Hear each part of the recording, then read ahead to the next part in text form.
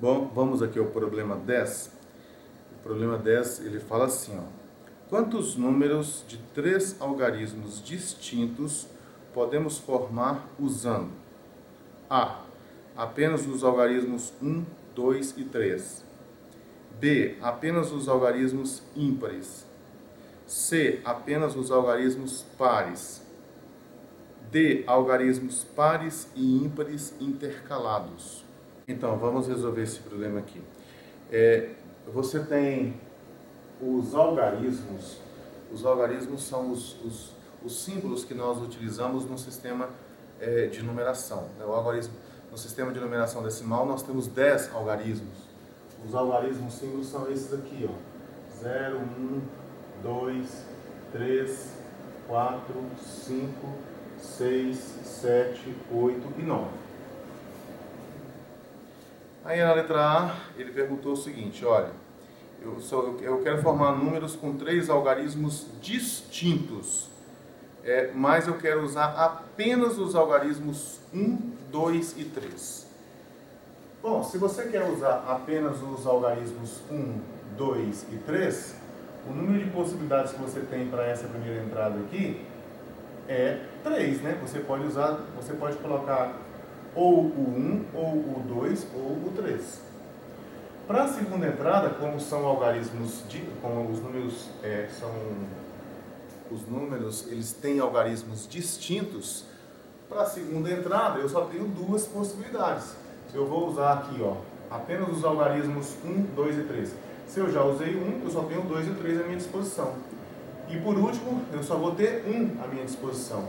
Então aqui eu vou ter um total de 6 é, seis possibilidades, né? seis números de três algarismos.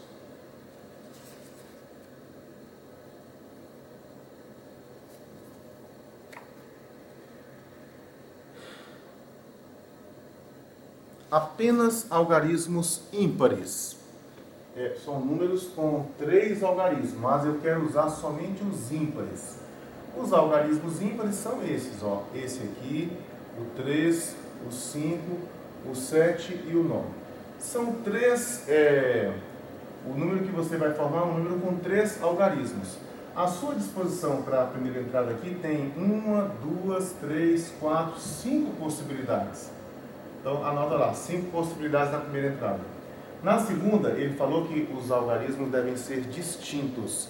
Então na segunda eu tenho só quatro possibilidades, ok?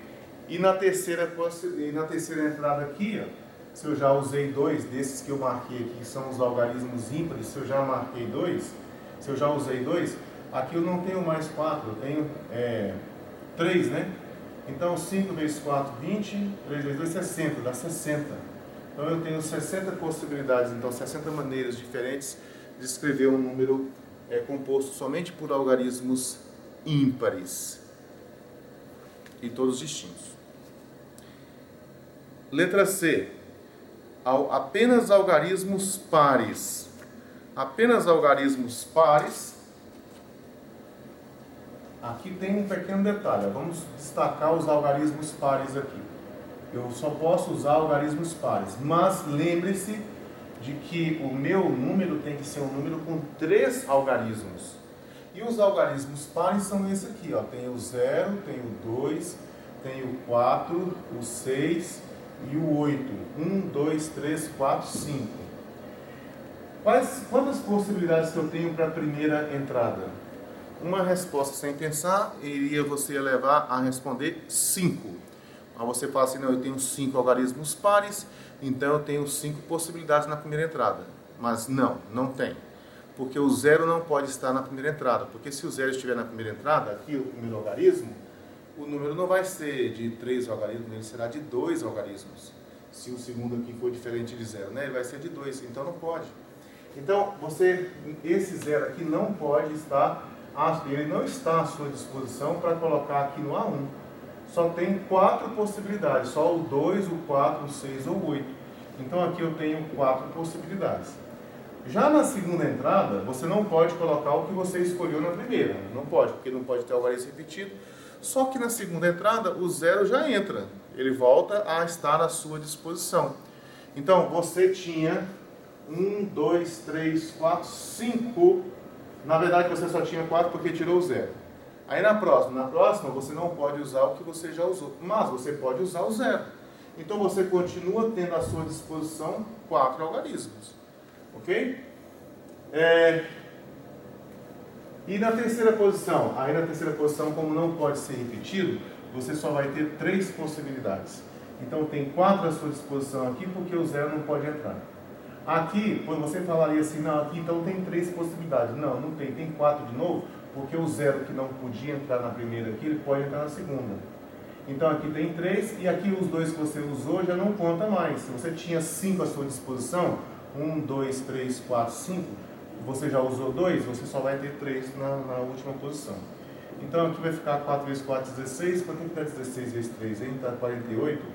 16 vezes 3 vezes 6, 18. vezes 1, 3 e 1, 4. Dá 48. Ok? Então é, é isso. É, na última ele fala assim: algarismos pares e ímpares intercalados. Se você começar com um par, por exemplo, o próximo é ímpar, depois é par, depois é ímpar. Ok? Então, aqui você vai fazer assim. Se eu quero pares e ímpares intercalados, eu tenho duas possibilidades, não tem? Eu posso começar isso aqui com um algarismo ímpar ou com um algarismo par. Vamos supor que eu comece aqui com um algarismo ímpar. Se eu começar com um algarismo ímpar, quantos que eu tenho à minha disposição? Eu tenho à minha disposição 5, não é verdade? Porque eu tenho à minha disposição 1, 3, 5 e 7. 1, 3, 5 e 9. 7 e 9. Tenho 5 possibilidades então ali. Então eu tenho 5 possibilidades. Aí na segunda entrada, na segunda entrada tem que ser um algarismo par. Ele vai ter que ser assim, ó, par. Aí quantos que eu tenho pares à minha disposição? Ah, eu tenho 5 de novo. Né? Eu tenho 5 de novo, porque eu tenho todos os pares. Eu tenho 0, 2, 4, 6, 8. 0, 2, 4, 6, 8, exatamente. Aí na terceira entrada, na terceira entrada aqui, eu vou querer agora algarismos ímpares.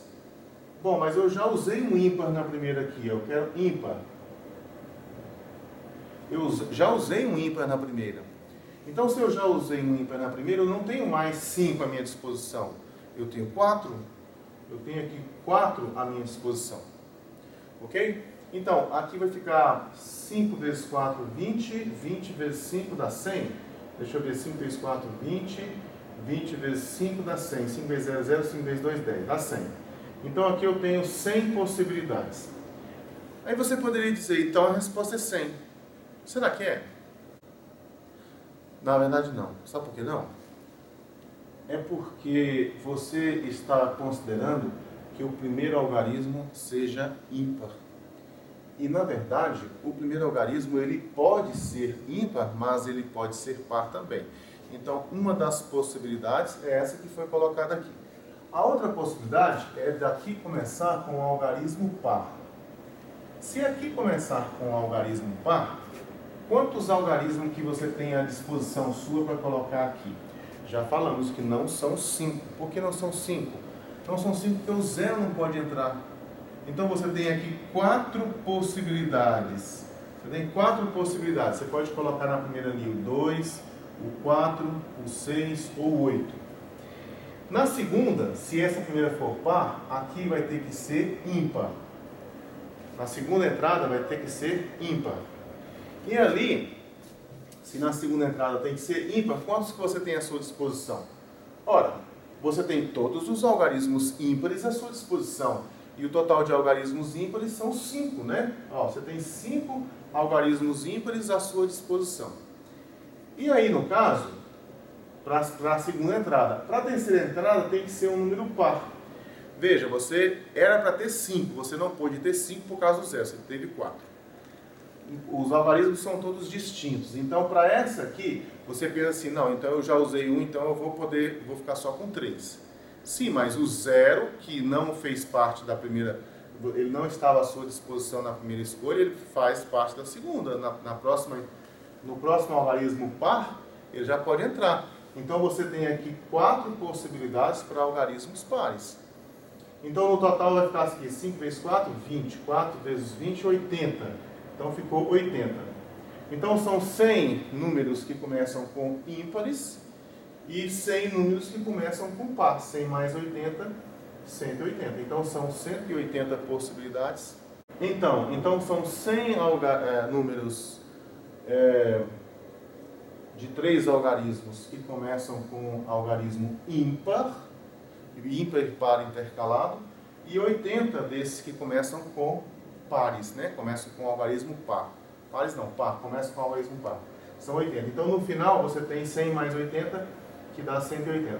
Esse aqui é o número total é, de, de números com três algarismos, onde você tem é, par e ímpar intercalados e todos distintos.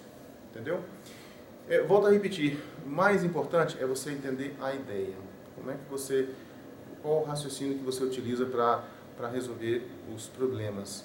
Porque aí é só uma questão de adaptação, né? Se você entendeu como é que funciona, você adapta aquele conhecimento seu à situação, problema que está sendo colocado para você, ok?